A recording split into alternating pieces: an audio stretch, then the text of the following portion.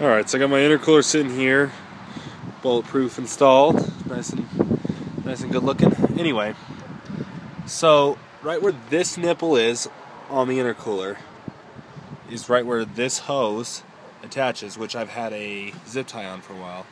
But if you follow that hose, that hose goes here, right to here, and it connects to that three-way then there is a short hose on the three-way that goes from here on the on the three-way to the manifold, and then there's a smaller hose that goes there and disappears somewhere down in the engine.